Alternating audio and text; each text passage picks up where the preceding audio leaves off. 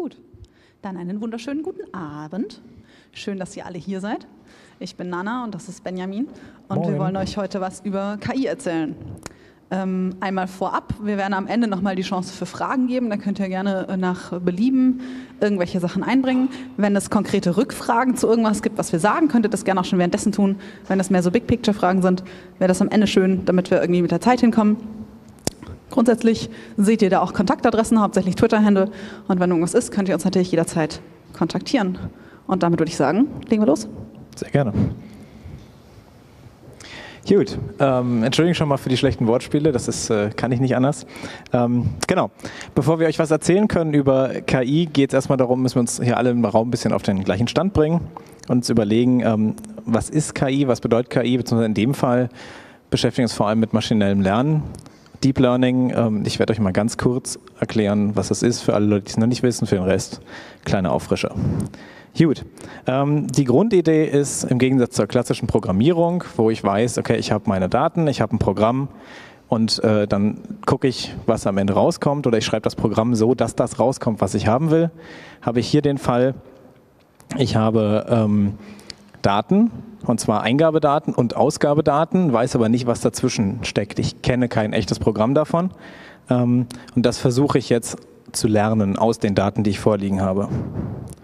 Und damit, muss mal klicken. Jedes Mal dasselbe. Genau. Ähm, fangen wir mal jetzt hinten an, nämlich was wollen wir damit eigentlich erreichen? Was für Ausgaben haben wir? Ähm, da kann es zum Beispiel sein, im einfachsten Fall wollen wir einfach eine binäre Entscheidung treffen, eine Klassifikationsaufgabe. Wir haben also irgendwelche Eingabedaten, wollen dann irgendwie entscheiden, ist was wahr, ist was falsch. Zum Beispiel ist auf dem Foto, was ich hier gerade habe, ein Stachelschwein. Ähm, nächste Stufe, bisschen komplizierter ist, ich will vielleicht numerische Werte vorhersagen. Ähm, zum Beispiel Sicherheiten, mit denen ich jetzt bestimmte, bestimmte Entscheidungen treffe.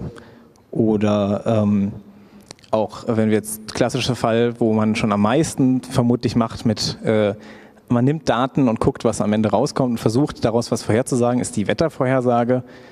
Ich gucke mir an, welche Fälle gab es früher, wie war das Wetter in ähnlichen Situationen, wie warm wurde es dann zum Beispiel am nächsten Tag und dann gebe, sage ich das voraus. Ähm, man kann noch viel mehr machen mit maschinellem Lernen. Man kann zum Beispiel ganze Texte generieren. Es gibt da ähm, zum Beispiel dieses Harry Potter Kapitel, ähm, das erstaunlich, erstaunlich gut geschrieben ist. Und auch übrigens sehr, sehr lustig. Und das Interessante daran ist vor allem, es gibt diese ganzen Posts im Internet, die immer sagen, boah, wir haben einem äh, Bot diese ganzen Folgen von, ich weiß nicht, Navy CIS gezeigt und jetzt haben wir ihn selber ein Skript schreiben lassen. Das ist total lustig, guckt euch das an. Und das Ding ist, dass die meisten davon einfach völliger Bullshit sind und von Menschen geschrieben wurden, weil es halt lustig ist. Dieses Ding ist tatsächlich quasi von der Tastaturvorhersagesoftware geschrieben worden. Und es ist, wenn man sich nicht zu ernst nimmt und Harry Potter ein bisschen kennt, tatsächlich sehr lustig. Also wer Lust hat, kann sich Harry Potter and the Portrait of What Looked Like a Large Pile of Ash gerne mal durchlesen. Das sind nur drei Seiten. Gut. Ähm, Texte können wir generieren äh, und wir können auch Bilder und ganze Videos generieren. Ähm, dazu kommen wir am Ende noch. Ganz besonders bekannt sind vielleicht Deepfakes. Ähm, hat, haben die meisten vielleicht schon mal gehört. Wie gesagt, gehen wir später nochmal drauf ein. Und prinzipiell kann ich auch jedes andere Datenformat oder jede andere Repräsentation, jedes andere digitale Etwas, was es gibt, versuchen, aus irgendwas anderem zu generieren, aus irgendwelchen anderen Daten zu lernen und den Computer das von alleine bauen zu lassen. Ähm, jetzt habe ich die Ausgabe uns angeguckt. Jetzt gibt es die Eingabe, das ist der zweite Teil. Auch da kann ich im Prinzip wieder alles Mögliche nehmen, was es so gibt. Ähm, zum Beispiel Bilder, zum Beispiel Texte, strukturierte Daten, wie ich es eben hatte mit den, Wetter, mit den Wetterdaten, wie warm war es, wie viel Regenwahrscheinlichkeit, wie viel Prozent des Himmels waren von Wolken bedeckt ähm, und alle möglichen Informationen mehr. Und dann muss ich diese Eingabedaten noch in irgendeiner Form für den Computer nutzbar machen. Äh, das passiert meistens dadurch, ähm, dass ich einen Vektor daraus repräsentiere. Ja, ja. Ähm, bei Bildern ist das wieder relativ simpel, denn Bilder sind im Prinzip schon lange Vektoren aus, aus äh, jedes Pixel ist ein Helligkeitswert, das ist ein Tupel von oder Tripel von, von Farbwerten potenziell wieder. Das heißt, im Prinzip sind das schon Zahlenketten, die ich hintereinander stelle. Ähm, die kann ich jetzt einfach aufschreiben und eventuell so nutzen oder ähm, je nach meinem Anwendungszweck will ich vielleicht erstmal irgendwie noch eine Kantenerkennung drauf lassen oder das Bild in bestimmte Ausschnitte aufteilen und dann drauf lassen. lassen. Das sind Details, ähm, die für bestimmte Anwendungsfälle vielleicht wichtig sind, aber das Grundprinzip ist wie immer Vektor draus machen und dann gucken, was ich damit anstellen kann. Ähm, bei Text ist das ein bisschen schwieriger, weil der Computer nicht so gut auf äh, Buchstaben rechnen kann und nur die ASCII-Werte zu nehmen, sorgt meistens für Müll. Jetzt könnte ich zum Beispiel sagen, okay, ich teile das Ganze in sinnvolle Abschnitte auf, zum Beispiel einzelne Worte, zum Beispiel ganze Sätze, ähm, vielleicht sogar die einzelnen Zeichen. Dann gibt es die Möglichkeit, das wieder als Vektor darzustellen, indem ich einfach ein, ein Wörterbuch nehme jede, und einen, den Vektor sage, okay, ähm, one-hot kodiert, jedes Wort entspricht eben einem, einem Vektor mit einem, einer Eins drin und dann kombiniere ich die ganzen und alle Worte, die drin vorkommen, sind dann in dem, Ausgabe, in dem Eingabedatenvektor. Das geht natürlich deutlich advanceder. Dann äh, spricht man in dem Bereich äh, von dem Fachbegriff in sogenannten Embeddings. Da versucht man auch wieder mit maschinellem Lernen aus Daten und zum Beispiel Kontextinformationen, so dieses Wort steht häufig neben diesen zwei anderen Wörtern, ähm, eine Repräsentation zu lernen, die irgendwie sinnhaft ist, die eben äh, irgendwie klar macht, dass Haus was anderes ist als Tomate, äh, nicht nur weil die Buchstaben anders sind, sondern auch eben weil es eine andere Bedeutung hat. Ähm, jo, strukturierte Daten haben den Vorteil, sie sind bereits Vektoren. Trotzdem müssen wir da gegebenenfalls wieder anpassen, weil was in den einzelnen Feldern der strukturierten Daten sind, könnten jetzt auch wieder Zahlwerte aus einem beliebig großen Bereich sein. Da muss ich die irgendwie normalisieren oder es könnten wieder Texteinträge sein, dann muss ich die Tricks von eben anwenden und so weiter. Gut. Wie dem auch sei, am Ende von allem habe ich hoffentlich äh, einen äh, Vektor, den ich jetzt in mein System reinschmeißen kann. Jetzt muss ich noch überlegen, was mache ich damit. Und da ist das System relativ, relativ simpel. Es sagt einfach, okay, ich gucke mir jetzt ganz oft Daten an, vergleiche die Sachen, die reinkommen, ähm, werfe darauf Rechnungen und versuche vorherzusagen, wie sieht das Ergebnis aus am Ende. Das mache ich mit dem ersten Datenset. Vielleicht ist das in dem Fall, ja, ist egal, es ist zum Beispiel ein positives Beispiel bei einem Klassifikationstask. Das mache ich mit einem zweiten Beispiel. Ähm, und manchmal funktioniert mein, meine Berechnung und sagt den richtigen Wert voraus, manchmal tut sie das nicht. Und je nachdem, wie sie das tat, nehme ich jetzt äh, meine, meine äh, Eingabedaten, die ich in irgendeiner Form kombiniert habe, modifiziere jetzt, wie ich die in diese Berechnung, das ist im Prinzip eine lange Formel, einfach eine Summe und dann macht man eine Schwellwertsberechnung in den meisten Fällen drauf, ähm, wie ich die habt eingehen lassen, gewichte manche Dinge stärker, manche schlechter. Und dann fange ich wieder von vorne an, so lange bis durch das immer wieder klein bisschen Anpassen von den äh, Gewichten ich ein gutes, eine gute Formel gelernt habe, die meine Entscheidung treffen kann. Und entsprechend kann man sich vorstellen, ähm, das geht jetzt ganz gut, wenn ich nur ein paar Eingabewerte habe und eine Zahl am Ende oder sowas voraussagen will. Und wenn ich jetzt kompliziertere Daten habe, dann nehme ich einfach das ganze Ding und baue mehrere Schichten davon hintereinander. Dann wird die ganze Berechnung ein bisschen komplizierter, man braucht viel mehr GPUs, aber prinzipiell geht das so weiter. Jo. Und dann äh, kommt der Part, den ich persönlich am maschinellen Lernen am hässlichsten finde. Jetzt geht es darum, wer hat am meisten Rechenpower, wer hat die meisten GPUs vom Markt gekauft, die nicht die Blockchain-Leute haben. Und äh, dann bringt man die zum Glühen, lässt alle möglichen Kombinationen von Schichten, von wie verbinde ich die, welche Aktivierungsformen, also welche Schwellwertfunktionen benutze ich und so weiter laufen lassen, bis man irgendwann eine Sammlung von Parametern gefunden hat, die für den aktuellen Fall mit den aktuellen Daten, mit denen man testet, gut funktioniert. Und dann schreibt man das Ganze, wenn man im wissenschaftlichen Bereich ist, in ein Paper, freut sich, wenn man irgendwie zwei Prozentpunkte oder 0,2 Prozentpunkte besser ist als das bisheriges und äh, veröffentlicht das. Jo, das ist das tolle maschinelle Lernen, was äh, so wunderbar gehypt wird. Tolle Sache. Die können inzwischen schon ganz schön viel, diese Dinge. Ja, sie sind meistens relativ spezialisiert. Üblicherweise können sie eine Aufgabe gut und den Rest nicht so sehr. Aber insgesamt ja eigentlich eine tolle, moderne Erfindung, die so viele Probleme löst. Naja, vielleicht löst sie sie auch nicht.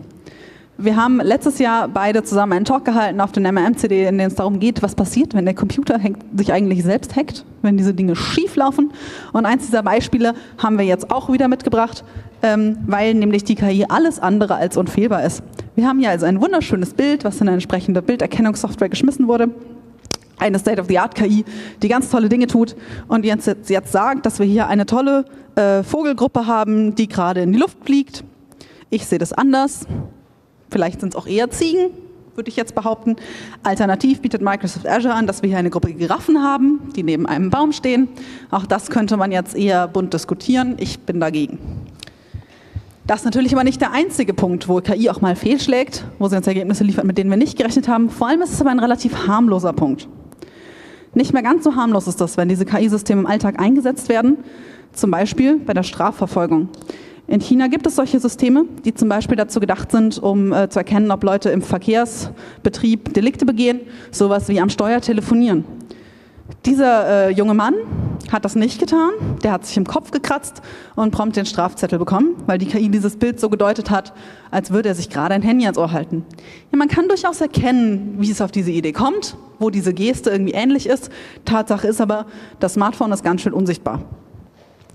Es hat ziemlich lange gedauert, bis dieser Strafzettel als ungültig erklärt wurde. Es hat tatsächlich ziemlich viel Druck in sozialen Medien gebraucht, bis überhaupt anerkannt wurde, dass hier ein Problem vorliegt und dass dieser Herr äh, diese Strafe nicht bezahlen muss. Dazu kommt natürlich auch, ähm, dass diese Software, die da in China eingesetzt wird, eben flächendeckend eingesetzt wird, auf den Straßen, in öffentlichen Räumen eingesetzt wird, zum einen nicht nur zum Erkennen von Delikten eingesetzt wird, sondern zum Beispiel auch zur Drangsalierung von ethnischen Minderheiten. An sich schon eine Sache, die man durchaus sehr stark kritisieren kann. Dazu kommt dann noch, dass diese Software von einem privaten Unternehmen betrieben wird, bei dem auch die gesamten Daten landen. Klasse Sache. Und diese KI tut in China noch was anderes. Die erkennt nämlich, ob jemand über eine rote Ampel geht. Und weil man dagegen ja was tun möchte, ist ja eine Straftat und ist ja gefährlich und so, haben sie sich entschlossen, diese Leute dann öffentlich bloßzustellen, indem sie auf eine riesige Leinwand, ähnlich wie beim Times Square, projiziert werden, mit Namen. Wir haben hier also äh, Gesichtserkennung und public geschämt werden, im Prinzip, für dieses Vergehen. Davon kann man jetzt verschiedene Dinge halten. Ich persönlich finde es jetzt nicht ganz so geil. Ähm, aber man kann ja sagen, diese Menschen haben ja schließlich eine Straftat begangen. Ja, blöderweise haben sie das nicht immer. Diese KI kriegt es nämlich nicht hin zu unterscheiden, ob da tatsächlich ein Mensch über diese Straße läuft oder ob da vielleicht nur ein Bus vorbeifährt, auf dem ein Werbeplakat angebracht ist. Diese junge Frau, dieses Fotomodel, wurde also public an die große Leinwand gestellt als Verkehrsverbrecherin, obwohl sie nicht mal vor Ort war, mit erkanntem Namen. Ich lasse euch daraus eure eigenen Schlüsse ziehen.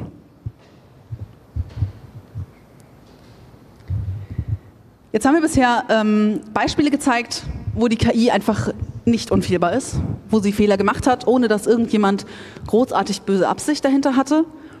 Natürlich ist es so, dass man auch absichtlich die Schwächen einer KI ausnutzen kann. Das ist das, was aktuell gerade in Hongkong passiert, ähm, wo absichtlich KI umgangen wird. Auch da geht es um Gesichtserkennung. Das ist die interessante Frage, ob wir das hinkriegen, das abzuspielen. Obviously not.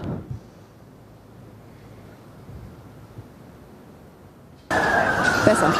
Was wir also sehen, ist, dass die entsprechenden Proteste ähm, relativ starke Laser einsetzen, um die Bilder, die von Kameras, von Überwachungskameras aufgezeichnet werden, unnutzbar zu machen. Sodass die Bilder so überbelichtet sind oder so gestört sind, dass darauf eben keine Gesichtserkennung mehr stattfinden kann. Man sieht es auch ganz gut, auch auf die Kamera wird da gerade was gelichtet. Der gesamte linke Bereich ist quasi also ist effektiv unnutzbar. Das, obwohl Gesichtserkennung heutzutage schon mit ziemlich niedrig aufgelösten Bildern funktioniert tatsächlich. Ähm, ich vermute mal, es gibt auf dieser Veranstaltung relativ viele Leute, die politisch so orientiert, finden, äh, orientiert sind, dass sie das gut finden, wenn die Proteste da äh, ungestört und unverfolgt stattfinden können. Das Problem ist natürlich, auf die Idee ist nicht nur die eine Seite gekommen, auf die Idee ist wie immer auch die andere Seite gekommen. Was also die Polizei macht, ist entsprechend starke Scheinwerfer und Laser einzusetzen, um es Journalisten unmöglich zu machen, Bilder und Videos vom Geschehen zu machen und verdecken damit, dass sie beispielsweise Tränengas oder Pfefferspray einsetzen.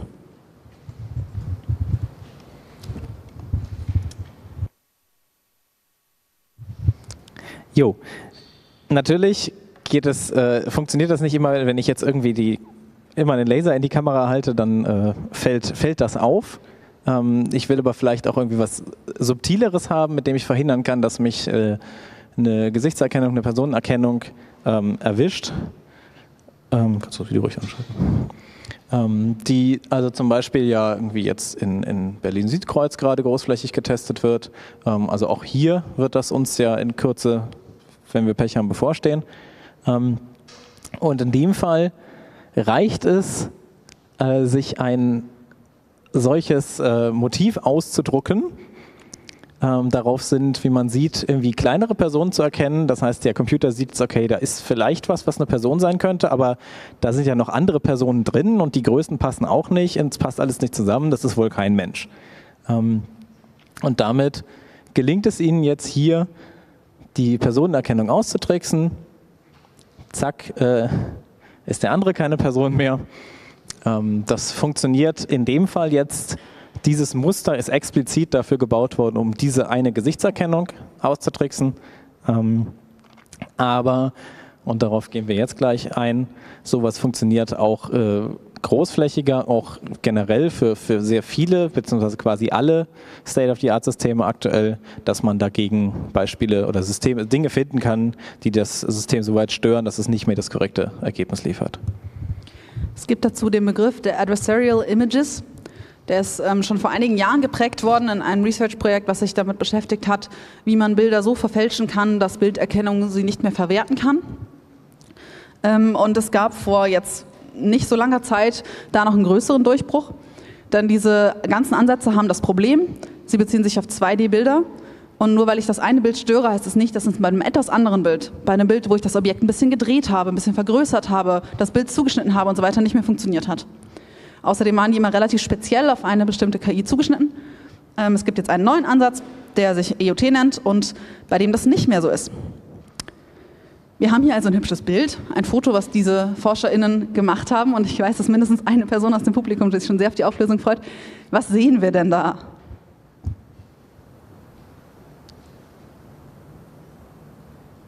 Ich reiße niemandem den Kopf ab. Eine Schildkröte. Dankeschön, eine Schildkröte. KI sieht das anders. KI sagt, das ist ein Gewehr. Mit sehr hoher Konfidenz. Die Beamer-Auflösung ist nicht der absolute Hammer, darum sage ich es, der rote Balken sagt Rifle, also Gewehr, der zweite sagt Shield, der dritte sagt Revolver. Ich sehe das auch eher so, dass nichts davon wirklich zutrifft. Ich meine, Schild kann man jetzt noch diskutieren, Schildkröte und so. Aber der eigentliche Punkt ist, wir haben eine 3D-gedruckte Schildkröte, entsprechend aus Plastik, die von Google Inception 3D, also einer der besten Bilderkennungssoftwares, die wir im Bereich gerade auch der 3D-Erkennung momentan haben, zuverlässig, das heißt aus jedem Winkel, bei jedem Zuschnitt, bei verschiedenen Zoomstufen, bei Drehungen, bei verschiedener Auflösung als Gewehr erkannt wird oder zumindest als Waffe erkannt wird. Adversarial Images funktionieren im Prinzip so, ähm, und wir haben das Ganze auch nochmal als Video mitgebracht. Ähm, dass wir das Bild nehmen und wir haben ein Bild, von dem wir wissen, dass es als das klassifiziert wird, als was wir auch dieses Bild klassifizieren wollen. Beziehungsweise eigentlich haben wir davon eine ganze Gruppe und wir schauen uns an, was hat die KI gelernt, was sind die herausstechenden Merkmale bei dieser Gruppe von Dingen, in dem Fall Waffen. Ähm, genau. ähm, die die KI erkennt. Das sind meistens bestimmte Pixelgruppen, das sind meistens bestimmte Kontraste, das sind relativ unauffällige Dinge. Und diese Dinge kann man im Prinzip lernen, auf ein anderes Bild zu übertragen. Das heißt, wir definieren eine mathematische Kostenfunktion, die uns quasi diese Differenz zwischen dem Muster, was wir erkennen wollen, und dem Bild, was wir haben, minimiert. Und wenn wir das tun, passiert genau das. Wir haben eine Schildkröte, die einfach ganz normal aus Plastik gedruckt wurde. Die wird auch als Schildkröte erkannt, aus jedem Winkel, in jeder Größe, in jeder Drehung und so weiter. Und wir haben diese eine Schildkröte, deren Textur und Farbe minimal verändert wurden. Auf eine Weise, die mathematisch vorher sehr, sehr genau und sehr lange berechnet wurde und die entsprechend aus jedem Winkel und so weiter als Waffe erkannt wird. Dieser Ansatz, den diese ForscherInnen gefunden haben, funktioniert zuverlässig auf fast alle 2D-Bilder und zum ersten Mal eben auch auf 3D-gedruckten Objekten, sodass man das direkt in die haptischen Objekte einarbeiten kann. Diese Veränderung des Bildes oder auch des 3D-Objektes ist für Menschen quasi nicht wahrnehmbar. Manchmal sieht man so leichte Farbschlieren, aber je nach Fortgeschrittenheit des Ansatzes selbst nicht mal das. Das ist so unwichtige Rauschen in diesen Daten, dass wir das so nicht wahrnehmen.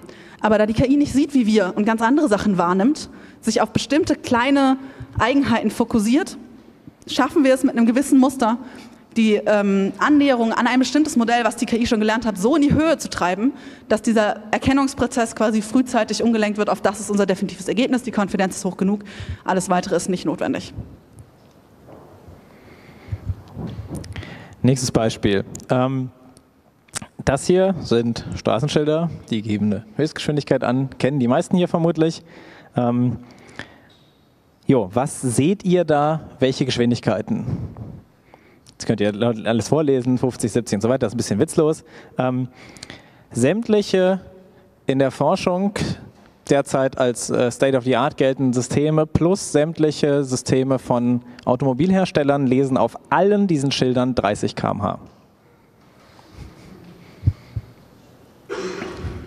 Keins von den Bildern war natürlich ursprünglich ein 30 km/h Schild. Genau. Denn was haben sie stattdessen gemacht?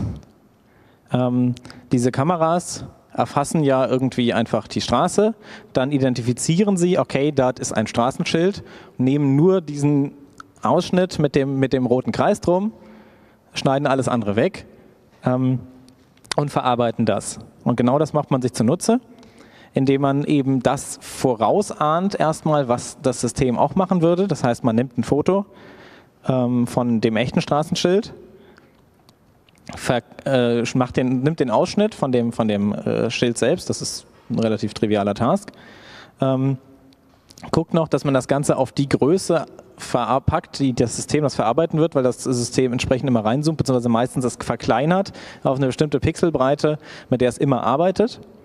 Und dann kann man äh, ganz leicht, unauffällig einzelne Pixel in dem Bereich so anpassen mit entsprechenden Zielfunktionen, das gibt es einfach ein fertiges Framework, ähm, dass das dann die gewünschte Zahl, nach der gewünschten Zahl für den Computer aussieht, ohne dass man aber möglichst viele große endflächige Ändern machen würde, die den Menschen auffallen wird. Am Ende vergrößere ich das Ganze wieder, dadurch, dass ich äh, ja meistens in echt ähm, also das, das, Kamerabild sozusagen ist ja alles viel kleiner als irgendwie in echt die Größe auf dem Schild. Dadurch sind die, die Pixeländerungen, die beim Verkleinern auf einen Pixel gemappt werden und das stärker machen, werden hier über mehrere größere Bereiche gewischt. Dadurch sehen die jetzt auch nur noch so, so, so ein bisschen schlierig oder sowas aus im Hintergrund und nicht mehr komplett irgendwie plötzlich dickfett schwarze, schwarze Kästchen drin oder sowas. Und dadurch erkennt das System dann plötzlich das falsche Straßenschild. Also eine ähm, Geschwindigkeit, die zu hoch oder zu niedrig ist. Das kann man dann schön ähm, testen, auch aus allen möglichen Winkeln. Das heißt, die haben in dem Fall, um das zu testen, die Kameras genommen, auf den Bildschirm gerichtet, wo sie Fotos aus allen möglichen Perspektiven hatten, weil es ihnen zu aufwendig war, jetzt das auf echten Straßen zu machen. Ähm, und äh, die Kamera erkennt zuverlässig, dass es die Systeme auch wie gesagt die echten in den Autos verbauten Systeme erkennen zuverlässig falsche Geschwindigkeitsvorgaben. Und jetzt haben wir den ersten Mal den Punkt, ähm, wo wir richtig Schaden damit anrichten können. Das erste Beispiel, was wir mitgebracht haben. Ich meine, ähm, eine falsche Geschwindigkeit, die an ein Auto, was vielleicht dann irgendwie halbautonom fährt äh, und die Geschwindigkeit eigentlich an die lokalen Gegebenheiten anpassen sollte, übermittelt wird, kann halt zum einen dafür sorgen, dass ich einfach alles sehr, sehr langsam mache, dafür sorge, dass es einen Verkehrskollaps gibt, weil plötzlich die Autos irgendwie 10 km/h lesen und äh, auf der Autobahn nicht mehr 100 fahren, dann fährt mir vielleicht noch einer hinten drauf, der nicht halbautonom fährt. Oder wenn ich es wirklich auf jemanden abgesehen habe, kann ich auch dafür sorgen, dass er vor der 30er-Kurve halt 120 signalisiert kriegt und dann mit sehr, sehr viel Schwung eben vermutlich nicht mehr um die Ecke fährt, sondern um die Ecke gebracht wird. Ähm, sorry. Äh, du musst weitermachen. Alles klar. Ähm, das sind jetzt Beispiele, bei denen man sagen kann, wir können das relativ gut umgehen. Wir nehmen einfach keine autonom fahrenden Autos. Problem gelöst. Problem ist nicht so einfach gelöst, wenn es um etwas geht, was wir immer mit uns tragen und auch immer benutzen, ob wir das wollen oder nicht. Und das ist unser Gesicht. Es gibt heutzutage schon viel zu viel Software, die Personen eindeutig identifizieren kann, zumindest mit einer ausreichenden Konfidenz, die das auch tut. Wir haben vorhin schon darüber gesprochen, sowohl in China als auch leider steht uns das hier bevor. USA wird das natürlich auch schon eingesetzt. Und auch die kann man natürlich hervorragend austricksen. Zum Beispiel mit diesen super stylischen Brillen, die vielleicht ein bisschen abgefahren aussehen, aber auf der einen oder anderen Party vielleicht doch nicht auffallen würden und die dazu führen, dass die oben abgebildeten ForscherInnen ähm, als die unten abgebildeten Berühmtheiten identifiziert werden. Zuverlässig mit einer Konfidenz, naja, es kommt auf die Person und es kommt auf das Zielbild an, aber von bis zu 90 Prozent von allen gängigen Gesichtserkennungssoftwares, die so mit den Internet verfügbaren Bilder von Celebrities trainiert wurden. Das ist relativ faszinierend, finde ich, weil da ist es noch viel einfacher nachzuvollziehen, äh, viel schwieriger nachzuvollziehen, wie dieses spezifische Gesicht durch die Brille manipuliert wird. Das heißt, die Augenregion, das merken wir schon, ist einfach sehr, sehr wichtig in der Gesichtserkennung. Es gibt zum Beispiel auch Ansätze, die über Schminke, Frisur, Styling dafür sorgen sollen, dass Menschen nicht mehr erkennbar sind. Die haben den Nachteil, dass sie extrem auffällig sind, weil sie meistens involvieren, ähm, Haare so vor das Gesicht zu bringen, dass zum Beispiel ein Auge verdeckt ist oder weil sie extrem starke Kontrastfarben an Stellen im Gesicht involvieren, ähm, die nicht üblich sind. Also schwarze Balken auf der Wange, irgendwas, was die Bilderkennung aus dem Konzept bringt. So eine Brille dagegen, wenn bunte Farben gerade in Mode sind, damit kommt man relativ einfach durch. Das heißt natürlich zum einen, dass ich meine Identität verschleiern kann. Ich kann dafür sorgen, dass ich nicht erkannt werde von der Software, die selbst auf meinen Bildern trainiert wird. Das sorgt natürlich auf der anderen Seite auch dafür, dass ich mich als jemand anders ausgeben kann. Ich kann hier quasi beliebige Personen in die Bedrohung bringen, indem ich mich an Orten aufhalte, wo sie nicht sein sollten, indem ich Dinge tue, die sie nicht tun sollten und dabei dafür sorge, dass der Computer ähm, jemand anderen erkennt. Das hält natürlich nur, solange wieder kein Mensch drauf schaut. Trotzdem sind die Anwendungszwecke schon eher beunruhigend. Bisher haben wir jetzt sehr viel über Bilderkennung geredet, weil es einfach ein wunderbar plastisches Beispiel dafür ist, äh, wie man diese Sachen machen kann. Das Ganze funktioniert aber selbstverständlich nicht nur auf Bildern. Alternativ funktioniert das zum Beispiel auf Audiodateien. Und jetzt finden wir mal raus, ob ihr euren Ohren traut. Wir haben ähm, zwei Audio-Samples mitgebracht, bei denen ihr euch das mal anhören könnt. Without the dataset, the article is useless. Okay, das versteht man leider bei dem aktuellen Lautsprecher nicht so gut. Machst du das nochmal? Without the dataset, the article is useless. Hat jemand verstanden? Er sagt, und man versteht es mit anderen Lautsprechern tatsächlich besser, without the dataset, the article is useless. Der Computer sieht das anders. Okay, Google, browse to evil.com. Im Leben nicht hätte ich das rausgehört. Im Leben nicht hätte ich auch spontan den Unterschied zwischen der manipulierten Audiodatei und der unmanipulierten Audiodatei rausgehört. Mit sehr guten Kopfhörern, wenn man aktiv darauf achtet, hört man eine ganz leichte Änderung im Hintergrund, im Hintergrund liegenden Störgeräusch, aber das ist auch wirklich schon alles. Wir haben aber noch was mitgebracht.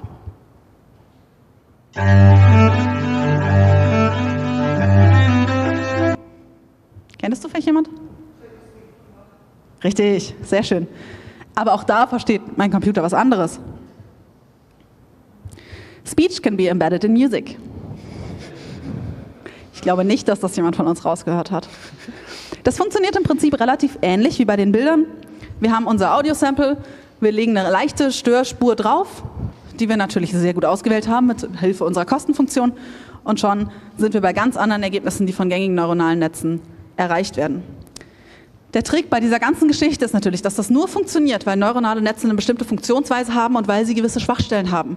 Gewisse Schwachstellen, die quasi in der Art und Weise, wie wir sie trainieren, wie wir sie bauen und wie sie funktionieren, Teil des, des Prozesses sind, die wir nicht trivial umgehen können, die nicht dadurch umgangen werden, dass wir es einfach ein bisschen größer, ein bisschen komplexer machen oder länger trainieren oder mit mehr Beispielen.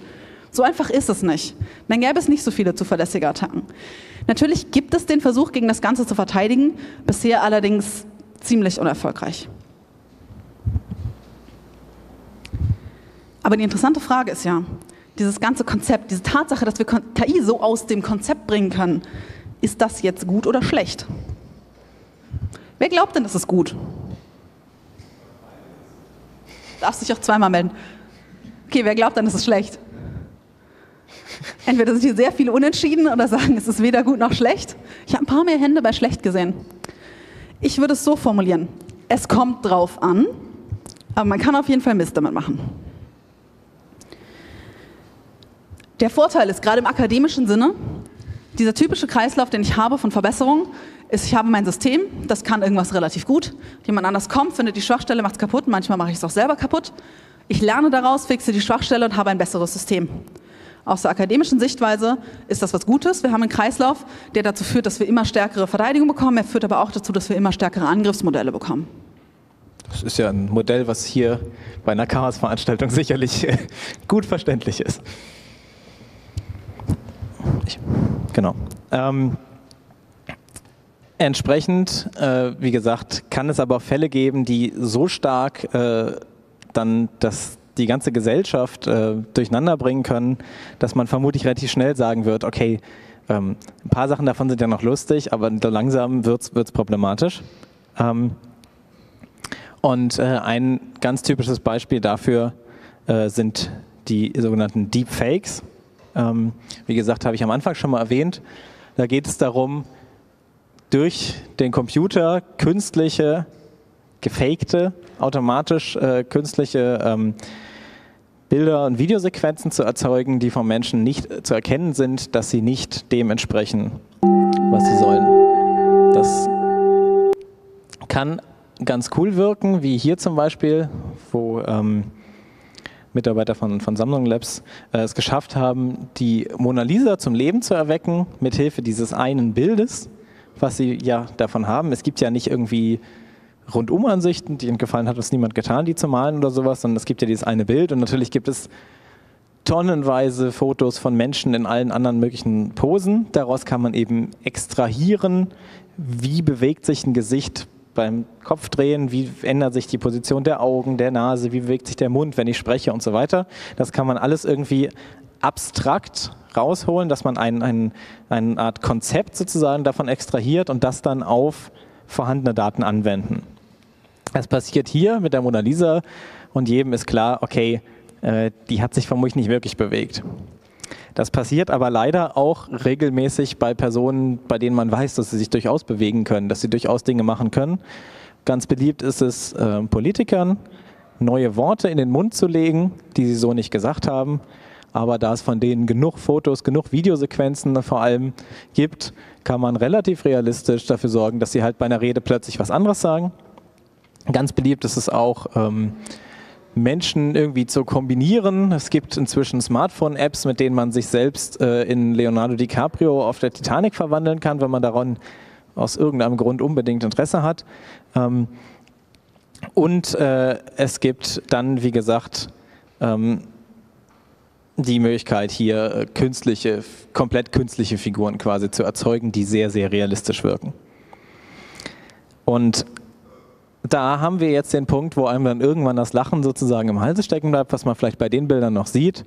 In dem Moment, wo ich eben nicht mehr den lustigen Zusammenschnitt, wo ein Musikvideo aus Politikerreden produziert wurde, die sehr, sehr abgehackt klingen habe, sondern ein, eine Rede, die so klingt, als wäre sie wirklich von dem Politiker, der Politikerin gesagt worden. Ähm, und natürlich kann ich jede andere Filmszene, die es gibt, jede andere Aufnahme, die es gibt, irgendwie so manipulieren, dass plötzlich da ein anderes Gesicht drin steckt.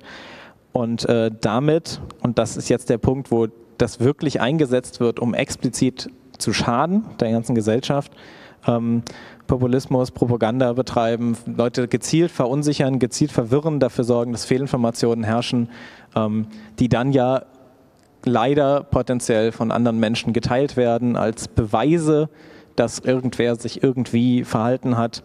Ähm, und leider ist das auch nicht so gut zu erkennen. Hier, man sieht, das ist schon relativ gut. Das ist aber auch die quasi schlechteste Datenlage überhaupt, die es gibt. Es gibt nur ein, ein Gemälde, nicht mal ein Foto. Ähm, bei Videosequenzen, die alles andere ringsherum, die natürlichen Bewegungen, dass man mal mit den Schultern wackelt und so weiter, alles schon realistisch machen, die richtige Länge haben, ist es schon sehr schwer, sowas zu erkennen. Und spätestens, wenn wir dann zum Beispiel Überwachungskameraaufnahmen haben, die ein Verbrechen zeigen, die aber mit naja, quasi noch vielleicht auf einer Videokassette aufgezeichnet wurden und demzufolge dermaßen viel Rauschen, Störungen und so weiter drin haben, da kann ich nicht mehr sagen, aha, diese drei Pixel sehen aber verdächtig aus, weil da sieht alles verdächtig aus, das liegt am Material.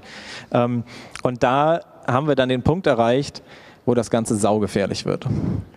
Um das quasi auf den Punkt zu bringen, ich kann eine beliebige Person von der ich ein 2D-Bild, was quasi ohne mein Einverständnis zu fast allen Zeitpunkten des Tages irgendwie möglich ist, habe, diffamieren und diskreditieren, indem ich hier irgendwelches Verhalten anhänge. Wenn ich auch noch ein bisschen Tonaufnahmen habe, anhänge, was auch immer sie gesagt haben könnte. Das bedeutet im Prinzip im Umkehrschluss auch, dass weder Bilder noch Videos noch Audioaufnahmen in Zukunft irgendeine Form von Beweis sind, solange wir das nicht entdecken können. Und bisher können wir das nicht. Also sogar nicht. Denn genauso wie ich aus den Bildern jetzt hier Muster erkennen kann, kann ich eben auch aus Tonaufnahmen, die ja gerade, wie gesagt, von Menschen des öffentlichen Lebens kräftig existieren, die Eigenheiten extrahieren, mit der sie sprechen, die Pausen, die sie machen, ähm, die Betonungen, die für sie charakteristisch sind und die auf eine Weise neu kombinieren, dass man eben nicht das Stocken hört, so wie das, wie gesagt, aus manchen Videos bekannt ist oder wie es klingt, wenn, wenn die Blechelse am Bahnhof die, die Ansagen macht. Sondern das klingt dann wirklich nach realistischem Text, das garniert mit echtem Video, also mit Video, was gut aussieht. Tja, wer von uns würde sich einbilden, in der Lage zu sein, das sicher erkennen zu können. Vermutlich niemand. Bisher haben wir sehr viel über Forschungsprojekte gesprochen, über theoretische Ansätze, über zwar funktionierende Angriffe, aber noch nicht über die Realität, außer den Hongkong-Protesten. Ähm, es gibt aber durchaus Beispiele, wo Angriffe gegen KI jetzt schon eingesetzt werden, wo man sich fragen muss, sind sie effektiv? Sind sie legal? Und selbst wenn sie beides sind, sind sie noch moralisch? Können wir das in irgendeiner Form vertreten? War das okay? War das gut, was da gemacht wurde? Und eins dieser Beispiele haben wir noch mitgebracht von einem äh, Skate Shop. Ähm, und ich zitiere kurz diesen Besitzer des Skate Shops, der sagt, wir haben auch auf unserem Blog, auf Instagram und Facebook angekündigt, dass es online nur Bilder vom Schuh gibt. Wir haben niemanden getäuscht. Was sie nämlich schlicht und einfach gemacht haben, ist, haben sie, sie haben sich lange darüber aufgeregt, dass es ähm, in, in der Skate-Szene gerade von Nike verbreitet ist, dass es Schuhe mit einer sehr geringen Auflage gibt, die irgendwie was ganz Tolles sind, die man unbedingt haben muss, wo die Leute wirklich über Nacht vor den Läden campen, damit sie morgens um acht als erstes diesen Schuh kaufen können, um noch ein Exemplar zu kriegen. Ähm, und was dann passiert ist, voraussehbarerweise, ist natürlich, dass Menschen versucht haben, möglichst viele davon zu kaufen und sie zum drei, vier, fünf, zehnfachen Preis wieder zu verkaufen, Leute, die sie unbedingt haben wollen. Dieses System ähm, ist in der Skate-Szene schon lange verpönt natürlich, passiert aber mehr und mehr, vor allem als Onlinehandel dazu gekommen ist. Wenn ich den Nacht über vor dem Shop campen muss und dann wahrscheinlich irgendwie nur zwei Exemplare kaufen darf, weil die Leute, die dort arbeiten, ja auch nicht völlig blöd sind, ähm, dann ist das ein ziemlich ineffizientes System. Es bringt mir immer noch gut Profit. Aber wenn ich natürlich online mit einem Bot, der irgendwie 700 Aufrufe die Minute machen kann, einfach das Ding leer kaufe, ist das eine ganz andere Geschichte. Davon waren die so genervt, dass sie sich gedacht haben, dagegen müssen wir was tun, komme was da wolle. Was sie also gemacht haben, ist, sie haben online digitale Bilder vom Schuh zum Verkauf angeboten für den gleichen Preis oder sogar einen höheren Preis. Und was natürlich passiert ist, dass die Bots große Mengen von diesen Bildern dieser Schuhe äh, gekauft haben, weil sie natürlich weder am Text noch am Bild erkannt haben, dass es sich hier um den Kauf von Bildern handelt und nicht von tatsächlichen Schuhen. Er rechtfertigt das eben mit der Aussage, wir haben vorher doch überall gesagt, alle Menschen konnten lesen, dass wir online keine Schuhe verkaufen, ausschließlich die Bilder. Es war auch auf der Verkaufsseite explizit ausgewiesen, dass nur ein digitales Bild des Schuhs zur Verfügung gestellt wird. Es ist natürlich genau das Vorhersehbare passiert. Die Bots sind trotzdem reihenweise darauf reingefallen. Digitale Bilder haben übrigens den Vorteil, digitale Waren unterliegen nicht dem Fernabsatzhandelsgesetz, können nicht zurückgegeben werden. Das heißt, die Bots sind entsprechend auf den Kosten sitzen geblieben. Ähm, es gibt Leute, die haben davon tausende Stück gekauft. Die haben 700.000 Euro, Dollar, was auch immer, in den Sand gesetzt ähm, und natürlich auch hinterher entsprechend gedroht zu klagen und was es nicht alle für Streits gab. Bisher ist es so, dass die Rechtsprechung sagt, das war völlig in Ordnung. Es war explizit auf der Seite darauf hingewiesen, dass es sich hier um digitale Exemplare, Bilder, Bilder der Exemplare handelt. Trotzdem ist das natürlich ein großes Diskussionsthema, weil es war schon explizit der Wunsch, wir wollen, naja, Leute veräppeln, KI veräppeln. Was wollen wir dann? Wir haben ja eine gute Motivation gehabt. Das ist durchaus ein Diskussionspunkt, den man führen kann. Ist das vertretbare Gegenstrategie oder lässt sich da jemand auf genau das Niveau herab, was er eigentlich kritisiert? Ich kann euch die Frage nicht beantworten. Vielleicht wollt ihr euch dazu selbst Gedanken machen, vielleicht auch nicht. Vielleicht habt ihr gleich in der Diskussion dazu was zu sagen. Damit sind wir nämlich soweit am Ende unseres Talks. Vielen, vielen Dank, dass ihr da wart. Ähm, Kontaktdaten nochmal hier. Und wenn es Fragen gibt, dann beantworten wir die gerne.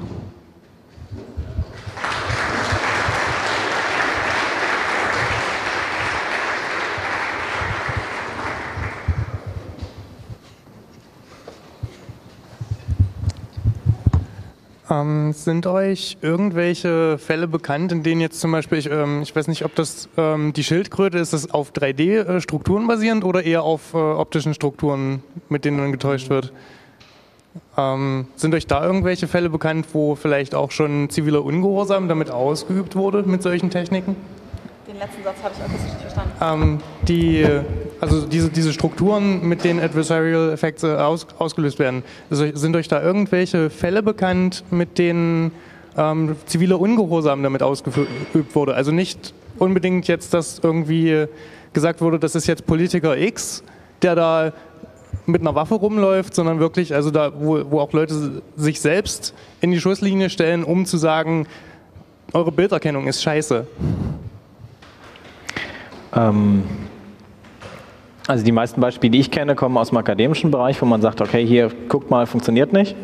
Ähm, und dann ja im Prinzip auch den Herstellenden die Gelegenheit gibt, äh, wir bauen jetzt mal was Neues und versuchen das, das besser hinzukriegen mit fragwürdiger Definition von besser, je nach Anwendungszweck. Ähm, Also ich glaube, es wird meistens, wenn genutzt, um eben nicht auf dem Kamerabild erkannt zu werden oder sowas und weniger, um, um wirklich explizit zu sagen, hey, wir haben euch reingelegt, ausgetrickst, euer System ist Mist. Ähm, wäre aber denkbar oder zumindest natürlich sinnvoll, äh, gegebenenfalls Beweise zu sammeln, um dann, äh, um dann zum Beispiel vor Gericht gegen was vorzugehen. Ist ja ähnlich wie, wie der Ansatz, keine Ahnung, wenn ich an der roten Ampel geblitzt wurde, stoppe ich mal, wie lang die, die Gelbphase war, ob die überhaupt äh, blitzen durfte oder nicht. Genauso kann man hier jetzt sagen, ich sammle, sammle Daten, aber mir ist zumindest gerade kein Prozess oder sowas bekannt, wo das dann zur, genutzt wurde, um, um irgendwie dann ein System zur Abschaltung zu zwingen oder irgendwie sowas. Von Neil Stevenson gibt es in einem aktuellen Science-Fiction-Roman ähm, so eine kleine Zukunftsvision, nur so 30, 40 Jahre in die Zukunft, wo die Leute sich, die sich leisten können, per Laser Muster ins Gesicht projizieren lassen und dadurch dann halt anonym durch die Straßen gehen können, weil sie sich den ganzen Überwachungssystemen entziehen.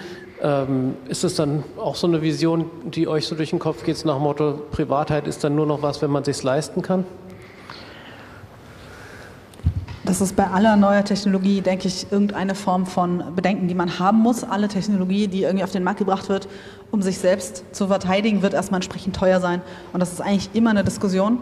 Ähm, bisher sind mir aber grundsätzlich keine Fälle bekannt, wo Leute irgendwie Technologie verkaufen zu diesem Zweck, sondern das sind alles mehr ähm, entweder so diese Kategorie von You can do it yourself, was musst du beachten, wenn du es versuchst. Ähm, aber ich meine, die Diskussion von wer kann sich leisten, ist eigentlich immer da bei neuen Dingen, oder? Gerade wenn man eben sagt, äh, also ist ja immer die Frage, haben das Forscher oder irgendwer rausgefunden, weil sie das interessant fanden und haben gesagt, hier guck mal, damit kann man Systeme austricksen oder ja, wenn ich reich genug bin, um jemanden dafür zu bezahlen, für mich zu forschen, kann ich natürlich einen Fortschritt kriegen, kann ich was entwickeln, was niemand anderes hat. Und damit, wenn ich es nicht publiziere, dann meine Chancen, wir hatten ja diesen Kreislauf, äh, meine Chancen erhöhen, dass die Technologie, wenn ich sie für mich behalte, auch für mich weiterhin funktioniert und eben nicht rausgepatcht wird und im Gegenzug dafür, dass ich eben nicht der Gesellschaft insgesamt helfe. Und bei einem zweiten Szenario nach deutschem Demonstrationsrecht könnte es dann sein, dass das dann als passive Bewaffnung gilt, weil ich sozusagen mich der Überwachung entziehe. Das ist im Prinzip genauso jetzt mit, mit dem Vermummungsverbot, was wir in Österreich jetzt ja haben. Ähm, vorher hätte ich gesagt, okay, wenn ich nicht auf dem Bild erkannt werden will, setze ich mir halt eine Maske auf, das darf ich jetzt nicht.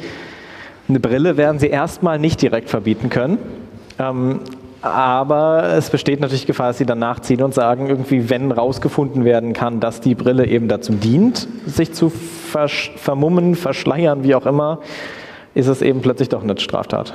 Genau, also die Diskussion gibt es schon an Stellen, wo eben ähm, ja, mehr Verhüllungsmaßnahmen, mehr sichtbare Verhüllungsmaßnahmen getroffen werden, gerade dieses Thema Schminke ähm, da gibt es die Diskussion schon im Ansatz, aber erfahrungsgemäß wird, sagen wir mal, die Legislatur schneller angepasst, wenn äh, Technik dazu genutzt wird, sich mehr oder weniger staatlichen Kräften zu widersetzen als andersrum. Ähm, ich würde damit rechnen, dass die Diskussion kommt, wenn diese Mittel irgendwie verbreiteter werden. Was die deutsche Legislatur dazu sagt, ist ja deshalb nochmal eine andere Frage, weil auch in Deutschland die entsprechenden Technologien, die eingesetzt werden, um Menschen zu erkennen, zwar schon existieren, aber nicht entsprechend weit verbreitet sind, dass sich bisher ein Markt aufgetan hätte dagegen.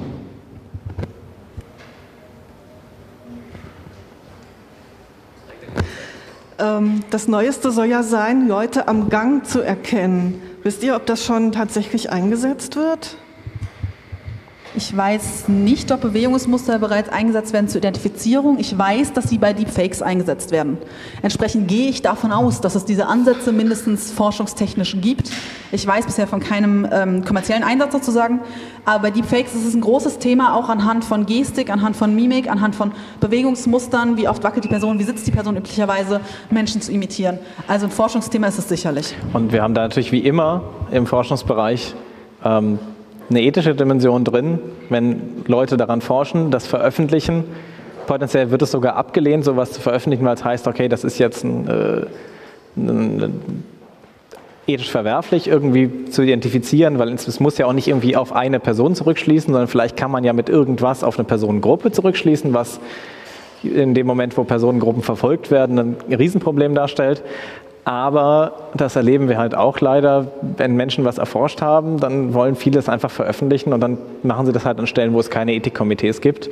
Oder sie verkaufen es dann eben dann doch direkt an irgendwelche Leute, die es einsetzen, ohne es zu publizieren. Also im Prinzip weiß man immer nur, dass es irgendwas gibt, wenn es halt bekannt wird, dass es gibt, aber leider nicht, dass es irgendwas nicht gibt.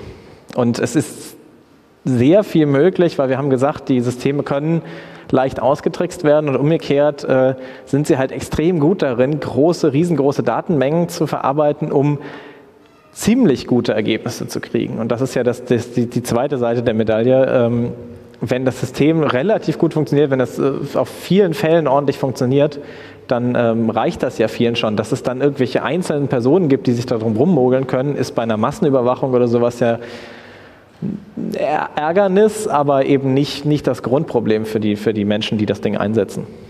Vor allem ist ja der interessante Teil, dass Maschinen in diesen Daten potenziell Muster erkennen können, die wir als Menschen nicht erkennen.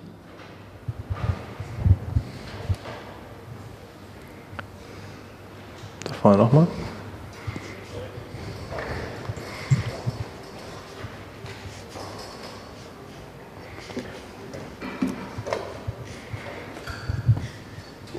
Gibt es schon Trainingsansätze, das Adversarial Hacking als Gegenmaßnahme schon im Training einzubauen? So nach dem Motto, ich nehme die, das Hacking vorweg, was ich antizipiere und versuche mich damit zu härten? Ähm, es gibt momentan zwei grundlegende Ansätze, wie Adversarial Attacks prinzipiell vermieden werden sollen. Ähm, der eine ist Brute Force, mehr Daten, mehr Winkel, äh, weniger störungsresistent, ist echt nur so mäßig erfolgreich. Also eigentlich nicht. Der andere baut ein bisschen mehr auf die Ebene, dass man quasi direkt erwartet, was könnte auf mich zukommen. Bisher sind aber alle diese Ansätze dadurch gebrochen worden, dass man dem Attacker mehr Rechenpower zur Verfügung gestellt hat. Also bisher gibt es in die Richtung zwar Versuche zu sagen, wir wollen eben nicht mehr solche Muster quasi bereitstellen, die der Angreifer oder die Angreiferin nutzen kann, ähm, aber Rechenpower löst das Problem für den Angriff bisher, nach meinem Wissensstand. Die Grundannahme der Forschung ist aber, je robuster wir die Systeme machen, desto gegen, gegen ähm, zufällige Störungen, zum Beispiel also Bildrauschen oder, oder all das, was eben so schon, schon stört, schlechte, schlechte Perspektive oder was weiß ich, desto besser machen wir sie gleichzeitig auch gegen aktive Angriffe. Das ist so die, die Überzeugung. Ähm, aber äh, ja, beides zu, zu reparieren ist halt nicht einfach. Zum Glück, vielleicht. Was da ähm, interessant werden könnte, sind tatsächlich die, die, was wir vorhin an diese 3D-gedruckten Modelle, die tatsächlich ja zum ersten Mal die in Anführungszeichen reale Welt manipulieren und nicht mehr nur den digitalen Input. Ähm, weil man da eher versuchen kann, das schon zu erkennen. Ist das ein Objekt, was in irgendeiner Form manipuliert wurde? Aber bisher, ähm, soweit ich weiß, keine Erfolge. Also das war mal eine Diskussion, ob das eher möglich ist als bei 2D-Bildern, äh, wo man eben diesen Ansatz gefahren hat von, wir geben dir schon Eingabedaten, die solche Muster drauf haben und hoffen, dass du dann lernst, dagegen anzukommen. Aber auch das, wie gesagt, bisher unerfolgreich.